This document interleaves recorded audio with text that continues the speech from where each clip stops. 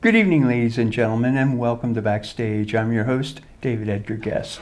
And tonight we have uh, two of our uh, local production companies on. Uh, later on, we'll be talking with the First Street Players from Birdsboro. Uh, and in a moment, we'll be talking with Genesius Theater, uh, and they're located just down the street from us here at Albright College.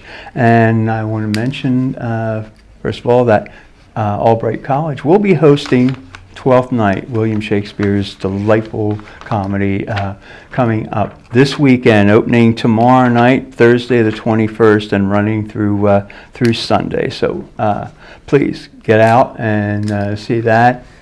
And we'll, uh, there's a full theater weekend, so don't forget not only with Albrights, but with my next group of people from Genesius Theater. I welcome part of the cast to Bus Stop. And with me tonight is Tina Angstedt. Welcome back. Thank you for having us. You're welcome. And seated next to Tina uh, is Kathleen Godwin. Welcome. Thank you. You're welcome. Seated next to Kathleen is Julia ba- Bachman. Welcome. Hi, thank you for having us. You're welcome. And Emily Jansen. Welcome to Backstage. Thank you for having us. You're welcome. Uh, these are some of the cast that is involved in the production of Bus Stop, uh, William Inge's comedy, and we will find out a little bit about that. Uh, Tina, first of all, tell us where and when Bus Stop is going to be produced. Uh, we open Wednesday, a week from today, yeah, just to you know, get you nervous. Uh, so April 27, 28, 29, and 30 at 7.30 p.m., and then we have a Sunday matinee at 3 on May 1st. So five performances over one weekend, and uh, I did bring the ladies of the ensemble as I figured they could explain the guys a lot better than the guys can explain them. So, uh, Possibly. each of them have a different relationship with one of the uh, gentlemen in the cast, and uh, so I'm, I think their point of view will work out well for you. Very good. I look forward to it. But first of all, uh, the, the show is uh, Bus Stop. Would you please provide a synopsis for us? Uh, Bus Stop by William Inge, um, set in the 50s, general, thinking about uh, 1955. Um, it's a typical kind of uh, stranded in one location, people who don't know each other. There's a blizzard going on outside, and the bus has stopped in the middle of Kansas nowhere, heading toward Topeka, and um, you have a variety of characters getting off the bus. You have the locals who run the diner where the bus stop is, the local sheriff, um, and the interaction of these people as they are forced to spend the night there till the road's clear. Um, and it's it's a comedy. Um, Inge was not mostly known for his intense uh, Midwest and Kansas country, small town um, uh, plays and screenplays such as Picnic, and um, uh, he did the screenplay for Splendor in the Grass. So that for this to go to the comedic level, usually if you put everybody in a snowstorm in one location, it turns into a murder mystery, which is not what this is. Not what this is at all. So the characters are very rich, they're very dynamic, and it's a lot of fun. Um, and we find something in, in the script every night. And we go, oh my gosh, is that what that they were inferring to? So we were having a good time with it.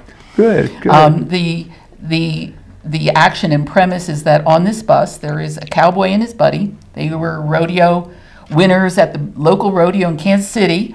And he goes into a dance hall and thinks that dance hall girl is singing right to him. So he's going to abduct her and take her back to the ranch and marry up with her. And she's not really in a mind to do that. Um, when they get to the bus stop, you have it's Grace's Diner. That's right. This is Gracie right here. Um, her helper is Elma Duckworth, the waitress, um, who stops and works after school. And uh, they arrive. Will, the sheriff, who has to try to take in hand this cowboy abducting this young lady. um, and then you have Dr. Lyman, who's kind of a uh, semi kind of washed up professor who is of dubious moral fiber um, who might imbibe a little too much. So you throw them all together, and it's uh, quite a mix-up. We see what happens at the bus stop. Yes. Forget the bus driver. Oh, the, oh, you forgot. Oh, and she's reminding me because the bus driver Carl comes through every other week or other mm-hmm. every few days. Mm-hmm. Um, and Gracie and, and he have always hit it off, but never had time together. Mm-hmm. But now he too is kind of stranded in this area here. So he and, and Grace finally find the time together. So we add that to the to the mix of uh, what's happening.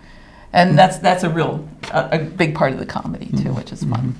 It's always amazing what happens uh, with layovers, whether it's a bus, uh, train, uh, plane, whatever. Uh, uh, what, what can happen when you get a mix of people? I don't know if any of you have uh, done any traveling uh, and have been held up over uh, with a layover at any stop. Uh, have Have any of you experienced anything like this? I was oh. Only for a little. It wasn't like an overnight thing or anything. It was like pushed back 30 minutes. Oh, okay. Yeah. I was in Arizona in February, and our plane right before auditions. It, no, it wasn't right before auditions. It was near the play and we got held up. Our plane got held up for maybe four or five hours. Mm. But you do find yourself like talking to the guy next to you, Uh-huh. commiserating Sure. about what's Definitely. happening and so on. So Yeah. these, these people who don't know each other, they're all Mm-hmm. They all really get entwined in each other's lives pretty much. And uh, so we've built a little diner Mm-hmm. at Genesius, and uh, kind of in and Grace starts preparing food Real for people. Yeah. Oh yeah.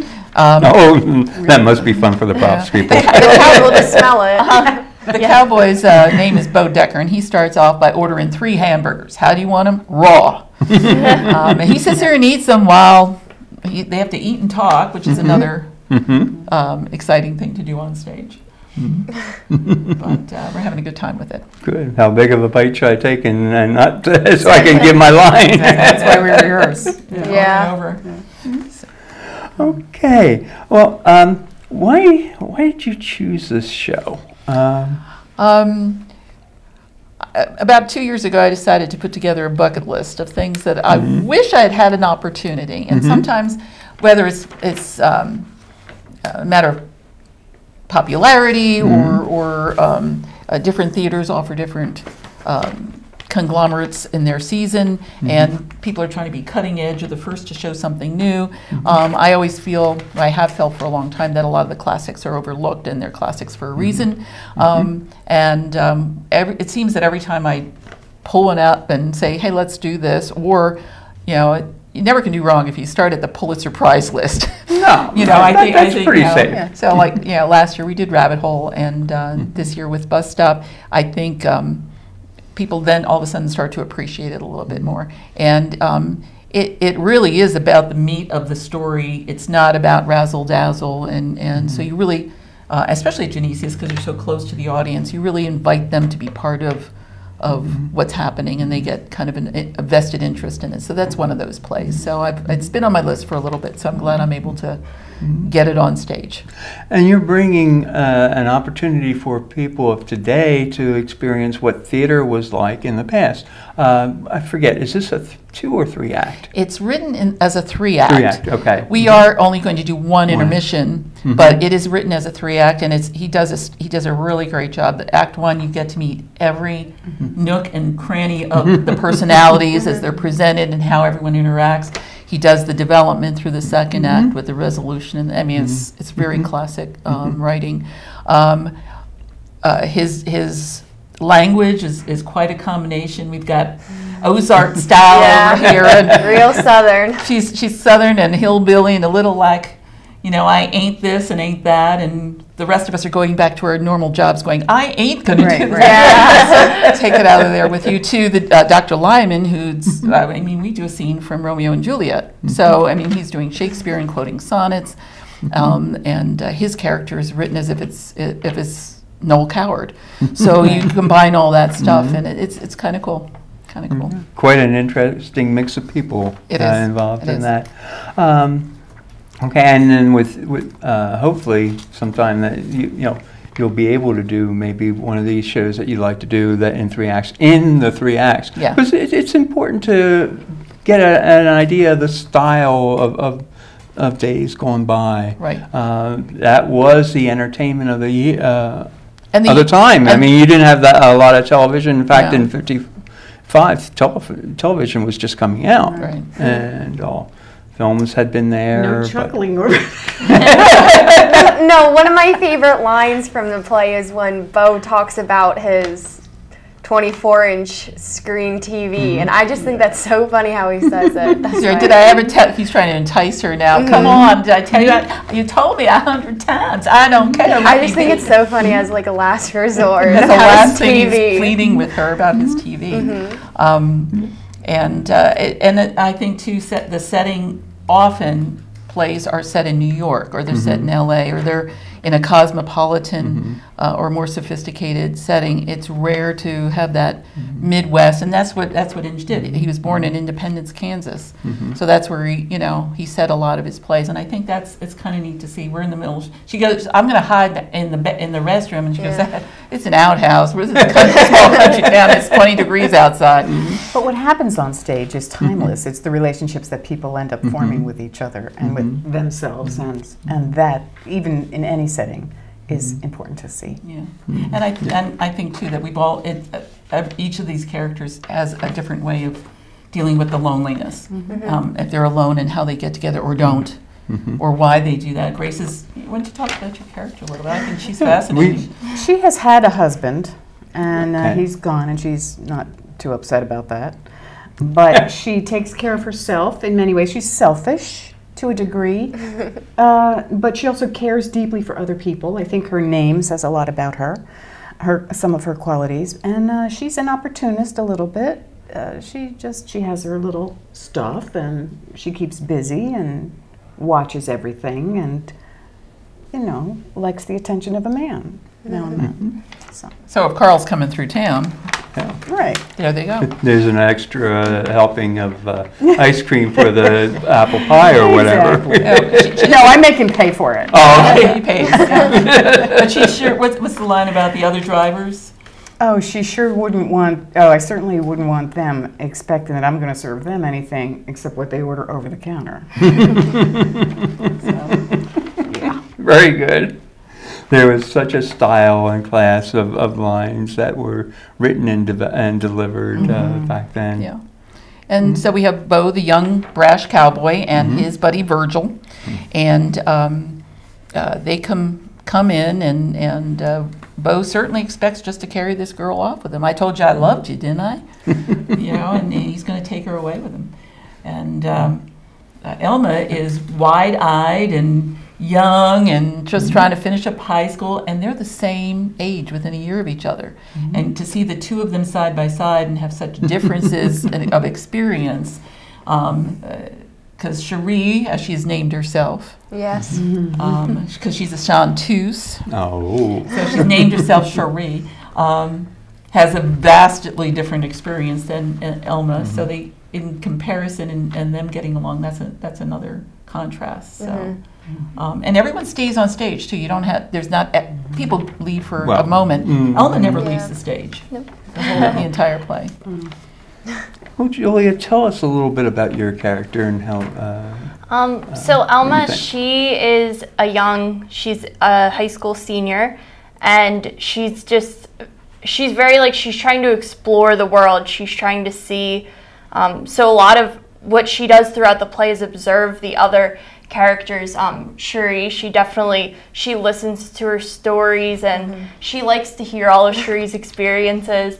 Um, and also Dr. Lyman, she likes to hear his experiences with teaching and she his interest in Shakespeare and she also looks up to Grace and sees her as a motherly figure. So, yeah. okay. And uh, Emily, uh, tell us uh, a little bit about your character. My character, Cherie, although they are the same age, her and Elma, she's not a high school senior. She dropped out when she was 12 to stay home and keep check of the house. And she won an amateur contest and is working in um, the Blue Dragon nightclub as a chanteuse, a singer to all the local men that come in. And one night, uh, young loud cowboy Bo comes in and he falls in love with her and tries to take her back to Montana with him, and they get stuck at the um, bus stop. And the whole time there, she's like trying. In the beginning, she's trying to get away from him. She doesn't want to go to Montana. She wants to go back to her life in Kansas City. And throughout the play, like you see her like contemplating that more, and like at the end, she eventually does end up with Bo after having a, this whole heart to heart with Elma about what she thinks love is and all that. Well, I think both the, men change too. We can Yes, talk the about men- them because they're yeah, not here. Yes, the men change too. Bo, from the beginning to the end, changes. Like he's this loud cowboy who comes in and it's his way or the highway, and then at the end he sees that like his ways have wrongs and that he need like it's not all about him. He needs to think about his actions towards other people. So everybody comes to kind of, there's all kinds of uh, resolutions and Mm-hmm. and evolving and, and so on through the characters. I, I just love all the characters. So it's, it's it's a fun evening. It's um, uh, uh, classic, and you know I'm having a good time. Yeah, yes, I enjoy it. Late nights, but I enjoy Yeah. it. Mhm. Now, uh, th- you described the uh, setting as a bus stop di- uh, diner, basically. What, what, uh, when the audience comes in uh, to see this, what, what can they expect to see? What kind of atmosphere and impression might they have? Uh, briefly about them, but also I'd like to find out your impression of your setting and your characters and see how that uh, uh, works with your characters. The um, the set um, built by John Bigos, who's did a great job with it. Uh, we have a uh, big picture window, and it says Grace's Diner back backwards. Mhm. Did you ever try to print backwards? Oh, yes. Uh, I kept looking, go, what? No, right. Um, We, we, uh, and, and um, Marge Ewald has done an amazing set decoration. She's with her parquet floor. Oh, wow. Yeah. Very good. Yeah. Marge, Takes a long for time. the Yes, yes. Oh, oh, no, she did, Yeah. it's, it's, it's something. So, uh, and we have a lot of, you know, uh, Brian Trupp is the assistant director, and he's, he's, he's the eye on detail. Something's not straight or not appropriate, or uh, like, at, they went to have that at 1950, we have to change that up, and so, uh, we're Some- trying to stay t- true. Some of the food uh, you gave me the liberty to pick out myself to put on the shelves to, and so I tried to think of the brands that were around then that are still around now that you can find. Mhm. Some of the Yes. oatmeal and, and the packaging, of course, has changed. So you're trying to look for some things that were there then, and the audience will recognize that. And I hope say, oh, have that thought. Oh my goodness, you know, I still use that today. Or uh, And we looked at some prices too. We have a chalkboard Right. there. Then.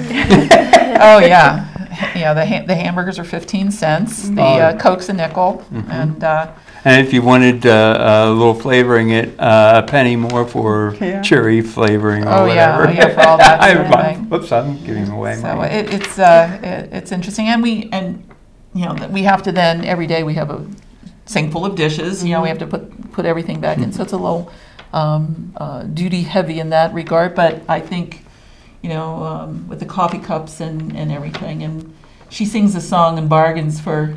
If I can have ano- another cup of coffee and a piece of that pie, Yeah. I sing my song. How has it been for you to, to learn these different accents and uh, uh, ways of uh, manners of speaking? Um, well, for me, it's been really fun. I like doing a southern accent a lot. And it's interesting because there's um, a part in the show where I have to do Shakespeare, but I'm doing Shakespeare in a southern accent. So I'm doing like two different types, two completely different types of languages. Romeo, which is- Romeo, wherefore art thou Romeo? so it's it's it's uh it's been it's it's fun. for me, the mm-hmm. grammar, the bad grammar that I have to use mm-hmm. They sometimes kept is- correcting is- the yeah. They kept correcting it's hard to themselves. learn. Yeah. Mm-hmm. And most of it's the dialects written in, so that I think that made it easier. And like for me, it was I feel like it was a little bit harder because I heard everybody else speaking their southern accents, and I had to like push myself even farther because like Yeah, she's the she's the I'm the hillbilly. She's the hillbilly. Yeah. She's from the Ozarks, and um, and they, he did. It's written with Yeah. with the with that kind of dialect. instead of you know instead of saying Kansas City, it says Kansas City. You know, so it's written uh, in pronunciation that way, and in bad grammar and which bad helps. It's written Yeah, how it's supposed So, to. be you know, the spoken. balance of our class, uh, cast, you see the rest of them here, but Daniel Smith is doing, Dan Smith is doing Dr. Lyman. Uh, Carl, our bus driver, is Randy Miller, and uh, Mark Christie um, is doing, he was in Camelot. He um, is doing Virgil Blessing. And Bo Decker is Joey Labello. Great. So uh, we have uh, a nice Hmm? cross section. I have Steph Very good. DeLillo as stage manager, so she keeps keeps me in line. And I'm good, Good. then. Good. Sounds like a wonderful uh, cast and crew to work with. It is. Um, Now, um, you, you get caught up uh, in, uh, in the snowstorm and all, and uh, uh, I believe I read where, Cherie, one of your lines is, um, uh, I might end up in Montana or something like that. Yeah. Uh, That, that's kind of fatalistic. Uh, is there a fatalistic attitude and feeling about the people and the characters there? Uh, you know, I, I, I think I'd they, say to some part. to some por- point of it because I Mhm. um, they they come to they look you, you know you see their whole ex, you get exposed to everything they have and they come to well that's what it's going to be and Mhm. and and uh, I think you know Elma after Dr. Lyman pays maybe a little too much attention to her but it because he he was talking intellectually to her she felt she was being treated like a grown up and he was the smartest man she'd ever met so she was very taken by that so she's come to, she, to kind of be aware of herself and where she wants to go and And I feel like that whole part of it um, is what like helps the characters come to that um, like resolution at the end of the story.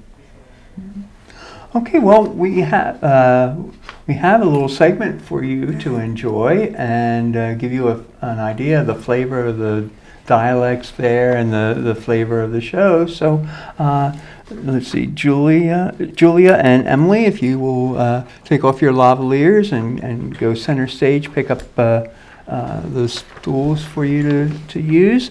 And Tina, if you would set this uh, scene up for us, please. Sure.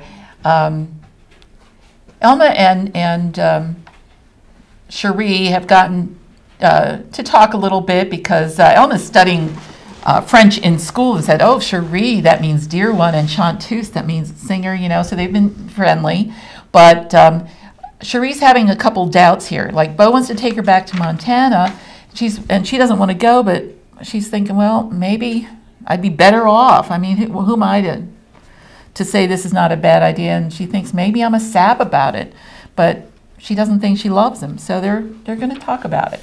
Okay, from bus stop, a scene. Maybe I'm a sap. Why do you say that?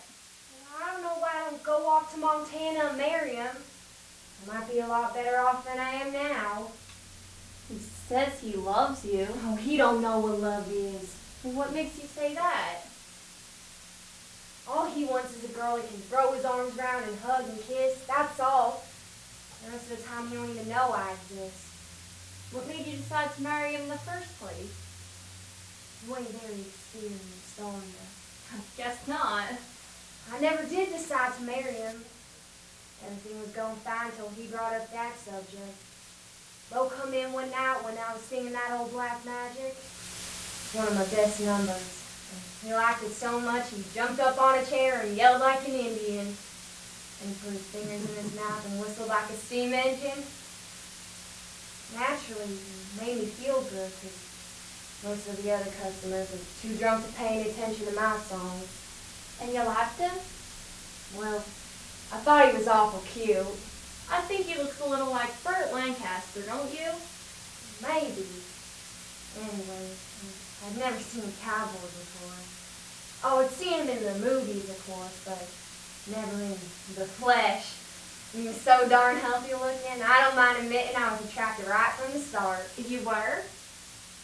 But it was what one might call a sexual attraction. Oh. The next morning, Bo wakes up and yells, Yippee, we're getting married. I honestly thought he was crazy. Every time I try to reason with him, Bo won't listen to a word. I- He followed me around the next day like a shadow. At night, of course, he'd go back to the rodeo, but he was back to the Blue Dragon in time for the midnight show. And if any other fellow claimed to have a date with me, Bo would beat him up. And you never said you'd marry him. No. He kept telling me all week he and Virge be by the night the rodeo ended and, and pick me up and we all head back to Montana together. And I knew if I was around the Blue Dragon that night, that's what happened. So I decided to beat it. One of the other girls at the Blue Dragon lives on a farm across the river in Kansas. She told me I could stay with her. So last night I went to the Blue Dragon and sang just for the first show, and then I told him I was quitting. I've been wanting to find a new job anyway. I picked up my share of the kitty. Darn it, I had to go and tell him I was taking the midnight bus. And they had to go and tell Bo when he come in little after 11. He paid him $5 to find out. So I went down to the bus station, hadn't even got my ticket yet, when here come Bo and Virge, and Bo steps right up to the window and says, three tickets to Montana. I don't know what to say, and he just picked me up and dragged me on the bus. I've been on it ever since. And somewhere deep inside me, I got a funny feeling I'm going to end up in Montana. Okay. From bus stop, a scene. Come on back, ladies, and uh, we'll uh, uh, wrap this up. It's, uh, it's coming close to the end of this segment. Um, what what's the most uh, enjoy, fascinating aspect of this show uh, that you found out so far um, with this, uh, Kathleen? What? The most fascinating aspect, I think that it's still as magic to be in those four walls. To me, that's why I do what I do.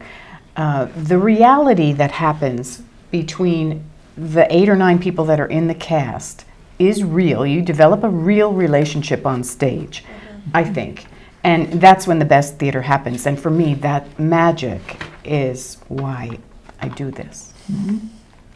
Any any other thoughts? Well, this show specifically is um, really special to me because I really like. There's like an element of romance to it almost with, and you see it with each of us and Yes. with all the boys. And I just I think it's really neat because they're all it's all in such completely different ways, but it's all it all ties together in a really nice.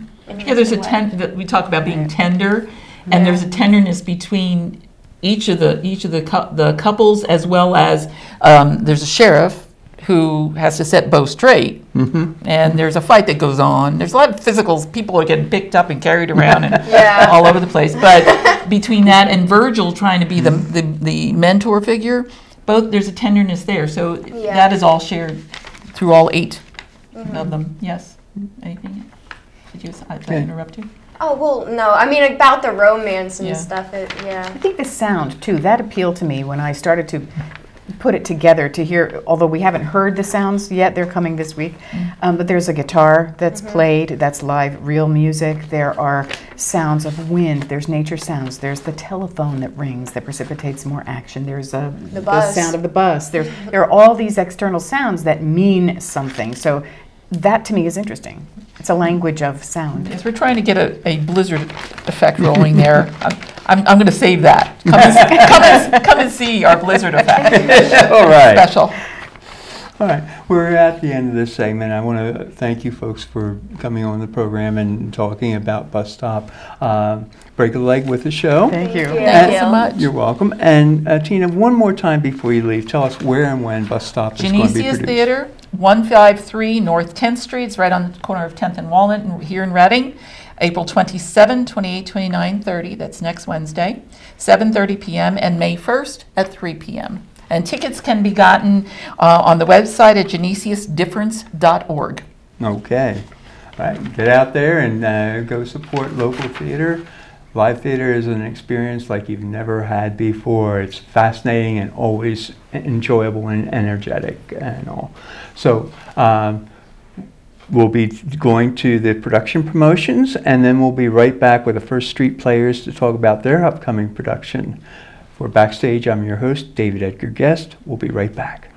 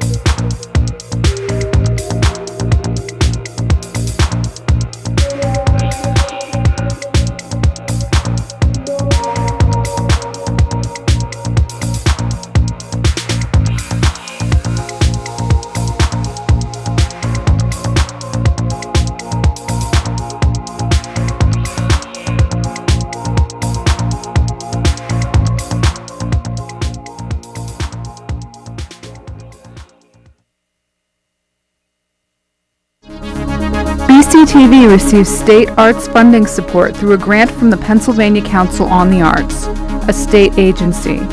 Funded by the Commonwealth of Pennsylvania and the National Endowment for the Arts, a federal agency.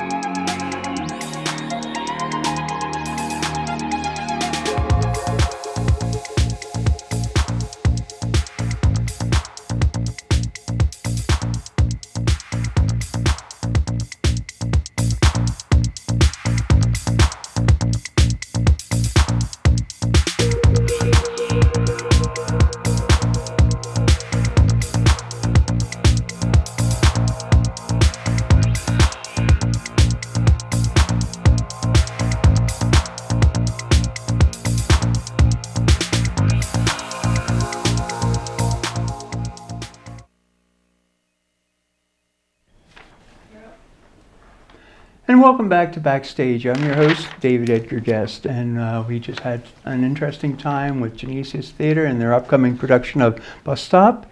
And now we're going to take a look at a production company that's a little east of us. We weren't, we were to the Midwest, now we're in the East.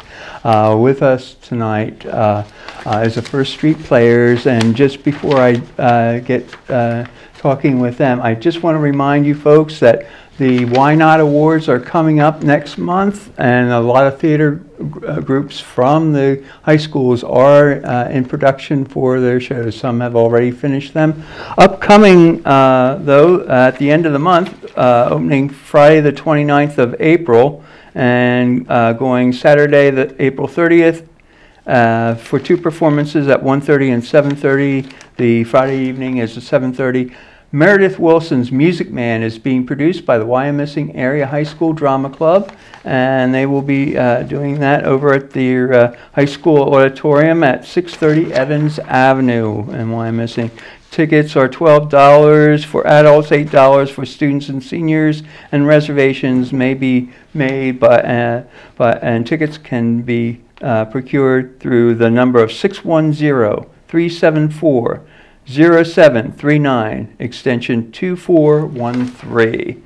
So uh, I hope you get out and uh, help support them as well as all the other fine theater groups and arts groups uh, in this area. We're quite rich with uh, the cultural scene uh, of the arts and entertainment. So let's find out about that uh, wonderful uh, new playhouse uh, out in Birdsboro, the First Street Players. And with me tonight is Melissa Kaufman. Welcome back to Backstage. Thank you. You're welcome. And seated next to Melissa is Scott Troutman. Welcome. Thank you, sir.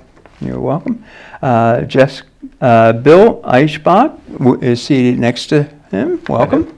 Thanks. And Jessica Pennington. Welcome to Backstage. Thanks for having us. You're welcome. These are some of the folks that are involved in the upcoming production of um, Murder uh, Ballad. And uh, you see that up there. And um, Melissa, uh, if you would kindly uh, tell us where and when uh, the uh, show is going to be done and how to get tickets for Murder Ballad. It's um, being performed at the Birdsboro Community Theater. That's 301 East First Street in Birdsboro. Uh, the production dates are May 6th, 7th, 13th, and 14th. All the shows are at 8 p.m. Um, tickets are available. You can call the ticket line at 610-404-8436, um, or you can email us firststreetplayers at gmail.com. Um, all tickets are $22. Okay, very good. All right, um, Murder Ballad. Now, this is, I understand, the area premiere. It is Okay, would you give us a synopsis of the show, please? It is definitely a different type of musical theater than you'd, you've ever experienced in your life. It's called immersive theater. And um, the scene, the whole pretty much show takes place in a bar.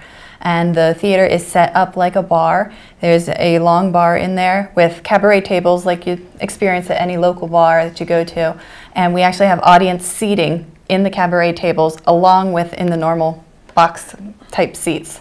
Um, so you can actually be immersed into the theater. Uh, it's not participation. There's no audience participation. I know a lot of people get scared of that, but um, they actually sit right there, and the actors act right around them. It's a different kind of experience, a different point of view, but it's a really neat kind of experience, something like you've never had before. We do have a rock pit on the stage with us. The whole show is 80 minutes long, no intermission, completely sung through uh, rock score, no talking in it at all. Oh, a rock operetta. Yeah. it's described as a steamy explana- exploration of the complications of love, the compromises that we make, and the, the betrayals that undo us. It's kind of a love triangle gone wrong kind of story. It is a murder mystery. Um, we've had a lot of people come in and sit through some of the rehearsals, and they said they've been gripping their seats trying to figure out who did it or who's going to do it. Mm-hmm. And it's a really neat kind of story. Good. It sounds exciting. Uh, now, the, uh, this immersive theater, that would mean that you put the audience right into the middle of everything. Exactly. That's a term that I don't think many people are familiar mm-hmm. with at this point. There's points where actors are standing up on chairs, literally right next to an audience mm-hmm. member and could end up in their lap at one point by accident, maybe. it, it's different. We're also um, offering it as a BYOB, so you can bring in your own drinks, you can bring in snacks. We're going to have snacks, wine, cheese available. We have um, Cog Hill Winery coming to the theater an hour beforehand, and they're going to offer wine tasting, sampling, selling their liquor. So it's going to be a real different kind of theater experience for sure. audiences. And I, I guess it has a rating for the language. It is rated PG-13. We don't recommend anybody under 13 just because of some uh, strong language and sexual themes in it. Um, no nudity or anything like that in it. Mm-hmm. Okay. So uh, with the immersive theater uh, from our cast that's here, uh, tell us, um, uh, what is it like for you as an actor with to, to work in this type of, of uh, setting with this t- style of, of theater. And I know you probably haven't had much uh, uh, contact with you know actual audience members. You did mention some were in there, mm-hmm. Uh, but what's what's what has your experience been like working with uh, in, in this kind of a setting? Well, you never know. You never know what's going to happen. Um, someone could be relaxing and have their legs out, and you're like, oh, I was supposed to go that way. I'm going to trip over them, so I'll just redo my route. So it really keeps you on your toes and really makes you have to know exactly what you're doing to not think about oh my words are coming next because you got to think about what's around you you know like is there a purse there am i going to trip over someone's jacket you know so it really keeps you on your toes at all times and like she said it's not interactive but you never know what someone's reaction is going to be to something mm. that could catch you off guard be like oh okay you know so it really it, it's just it's a brand new thing for all of us you know and and it's nice having people sit in every once in a while because you're like oh that that could they could react that way i didn't think mm-hmm. about that so it really it, it gives you a whole different way to look at theater you know that we've all been doing for a long time you know and it just mm-hmm. kind of gives it that fresh feeling mm-hmm. I can trip over a chalk line, so it's it's it's been a, uh, an experience. And most of the time when we are rehearsing without people there, the chairs are almost pushed in underneath the tables, mm-hmm. and we started moving them out a little bit just to get used to that. And like Jess said, you know, one minute you're I'm going this way, and oh no, I'm not. And you have to kind of loop around. It's but it, it's it's one of the neatest shows I've ever been involved with. Um, I'm absolutely loving every minute of it and these guys are. It, it's so nice when you when you have a bigger cast. You don't get to know people. We're learning things about each other. I mean, we've we've done stuff for 17 years, the three of us, and um, I'm finding out stuff about everybody that I had no clue because you get into your little cliques and your little pockets. You know, the basses hang out together, the sopranos hang out together, and but now it's just the four of us, and we just sit around. And if we take a break for a second and we start, yeah, you know, most of, we all have families, and it's it's it's neat the, the the, the tightness. I think it's helping us as actors because we're very comfortable with each other. Now I can speak from the audience point of view because I did sit in the audience seat during the run of the show, filling in, throwing lines in for actors who needed them, uh, not singing them, just dramatically speaking them. Um, and it is a little unnerving at times because you know while as stage manager technical director i know what's coming but still having that voice suddenly behind you as opposed to being in front of you like you would in a normal play can be especially if you don't know that voice is coming at the time it's going to happen. So it, it's an interesting event for the audience as well to mm-hmm. experience mm-hmm.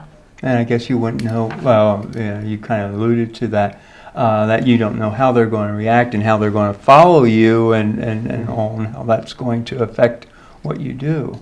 There were times that we had somebody sitting there and, and they started talking or say, saying something out loud, and you have to keep your composure because you mm-hmm. can hear them right next to you. And it's like, okay. And the one thing I noticed is because they're here and the action is all around them, Yeah, they're like on a set their heads constantly on the, s- looking. their heads on the swivel, you see where everything's coming from. So it's that's kind of neat. And the guys who are in the pit are Amazing. Phenomenal. killer. Amazing. Yeah. It's- Five guys. It's they're, They're just they're just amazing, and it's it's going to lend mm-hmm. to the authenticity and mm-hmm. just it's going to drive the whole thing. So it's yeah i can say without fail and, and you will not be disappointed in the rock quality of the band that's there yeah. I thought the CD was on the one day. Yeah. when we were there. I thought it was, Oh wait, that's them. So and what is nice is this is also our first attempt with a live orchestra. We've had in the past. Again, we haven't been around very long, but we have used tracks. And this is our first live music event. Uh, best with that, uh, and I'll break a string on that for the musicians.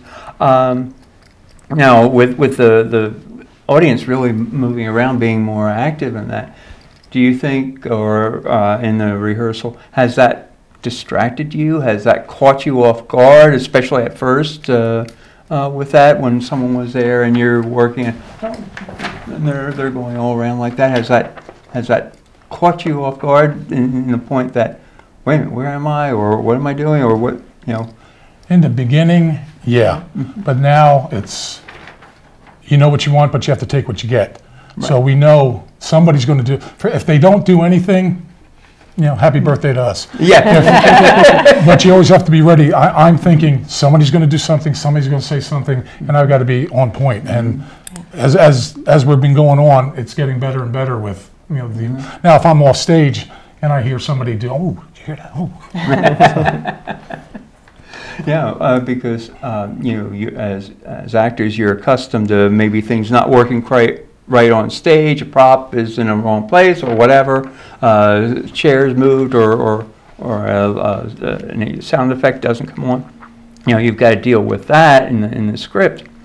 But now you also have the audience there on top of that.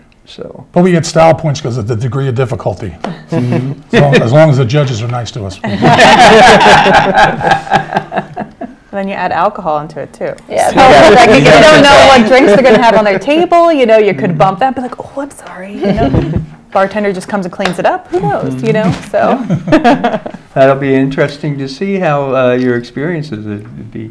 Uh, in, in a way, it's a, it's almost a shame that uh, uh, you know we're we're doing this before the show because it would be interesting to find out from you what were your experiences like, how did you do, what did you feel and think, and all that Yeah. uh, with it. But let's find out a little bit about uh, what you're doing in this show uh, now. Bill, you mentioned that you're the uh, stage manager and light- lighting. Lighting, yeah, stage managing, lighting, and technical direction as it needs to be.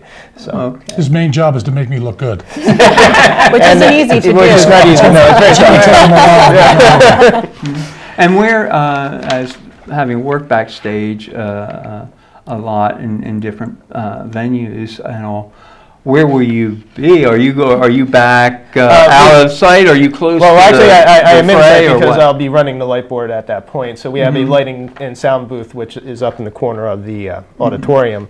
But backstage is accessible for the backstage, so I'll have full view of what's going on of the show. Whereas in the past, I've had to watch on a little monitor. It's also back there. I can actually see what's actually happening right away.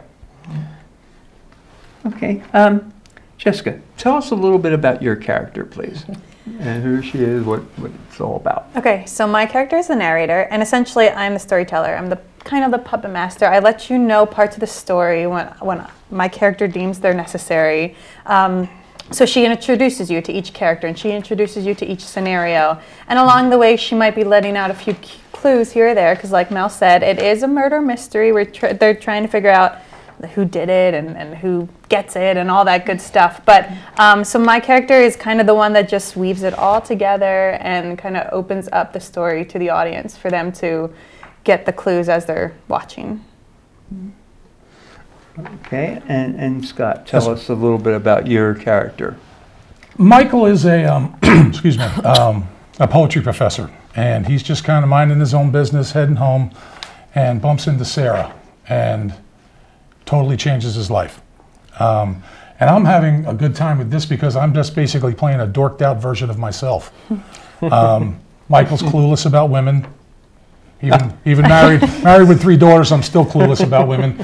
Um, he marries way out of his league, which I did.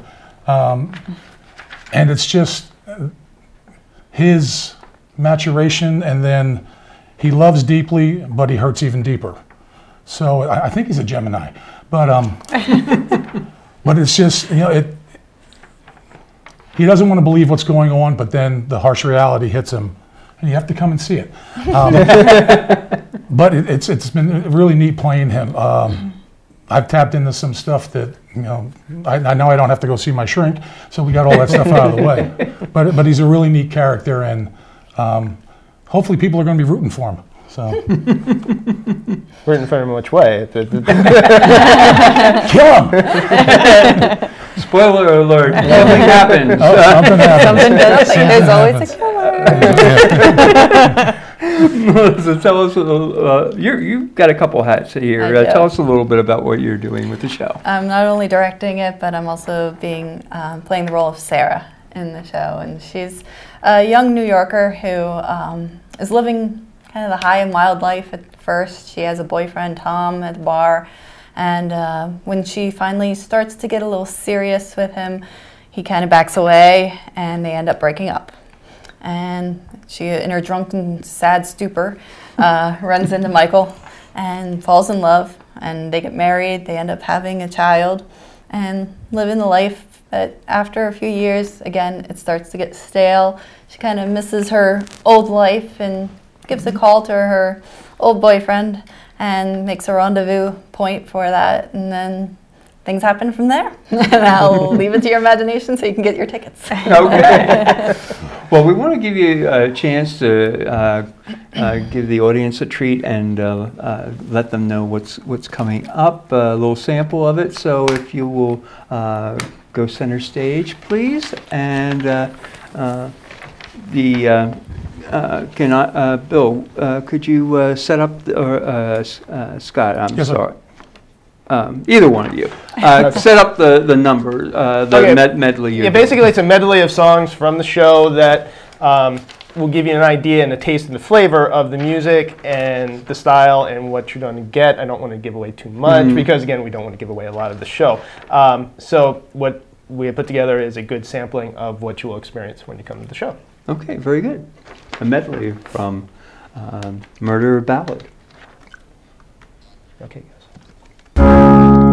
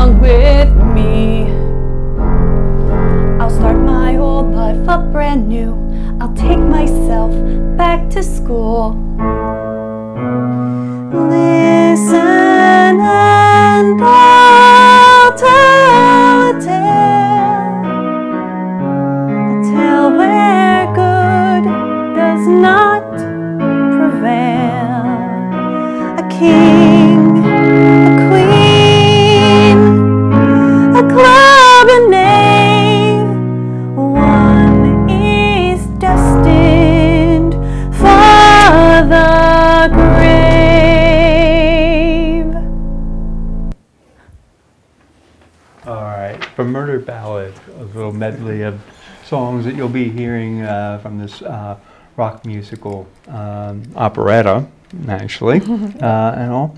Uh, thank you for that. Um, there are a lot of interesting themes in here. Can uh, tell us a little bit about some of the uh, uh, themes and, and mo- moments that caught you, you in, in, in your characters or uh, as uh, uh, as stage manager and all, seeing what's going on. Well, I, th- I think um, anyone can relate to almost anyone in this show. And it doesn't have to be that you were betrayed in some way or you were cheated on or anything like that. But, um, you know, no matter what point of stage you are in your life, you, you miss that sense of freedom. Or, you know, when you were in college and you didn't have a care in the world and you didn't have responsibilities. So there's always a little bit of something for everyone to tap into, which I think is great because it can really pull them in and make them understand, oh, I, I know what Sarah's feeling, or oh, I've been there, I know what Michael's feeling, you know? Um, so I, that's what I love about the show is that it really can speak to every single person in the audience. There's a line in uh, one of my songs, Sugar Cubes, and Rock Salt, where he says, Thinking things I'll never say. And I think each and every one of us who's ever been in any kind of relationship has had that where there's something you want so badly to say, but you know it'll just start the fight of all fights. And that, you know, some of that stuff, if, if you really tune into the lyrics, it's, it's a lot deeper than just, you know, running around singing rock songs. It's, it's an amazing show. Mm-hmm. Sounds like there's a lot of uh, uh, thoughts in there regarding actions and consequences for Yes. those actions and Yep. what your life hap- what happens to your life because of that. Yeah. Yeah, definitely. Has that uh, affected you, changed you, made you think anything about you and yourself? Uh, you- you don't have to go into detail, but you know, uh, but has has this has this evoked something that which is part of good theater, evoking the the thoughts, imaginations, and minds. Anything that I mean, just uh, in a general sense, you know, uh, we all need to do better in our relationships, no matter how good that relationship is. And there's some of the things that happen in the show where I would sit there and go, hmm, maybe I shouldn't do that at home. and, uh, and it's, I, I think people are going to walk out of this going, wow, I- I- I- it's going to be more thought provoking than um, just entertainment. It's going to be entertaining also. yeah, I'm sure of that. Listening to this seg- uh, sample of it, I'm sure it's going to be very entertaining, and you folks should get out and support it. It's a great new group uh, that's really working well in, in Birdsboro, and you'll have a lot of fun. Um, Melissa and cast and uh, stage manager, break a leg with the show. Thank you. Thank Thank you. you for being on the program, and tell us one more time before we leave where and when uh, Murder Ballad is going to be done. Murder Ballads at Birdsboro Community Theater, May 6th, 7th, 13th, and 14th at 8 p.m. Tickets are $22. Uh, you can call 610-404-8436 for tickets. Definitely call early because you want to get the special seats. yeah, that will be such a, a treat for you. Uh, uh, any whoever's in the audience at that night, uh, right there, uh, im- immersed in the action and all. Well, thank you all for being a part of the program this uh, this month, and I hope you get out and support all the theater uh, that's going on in this area and the region. We have an excellent uh, array of, of theater offerings, plus music, dance, uh, visual arts, and all. We're very rich with these treasures. So for Backstage on Berks Community Television, I'm your host, David Edgar Guest. We will see you next month backstage. Take care. BCTV receives state arts funding support through a grant from the Pennsylvania Council on the Arts, a state agency. Funded by the Commonwealth of Pennsylvania and the National Endowment for the Arts, a federal agency.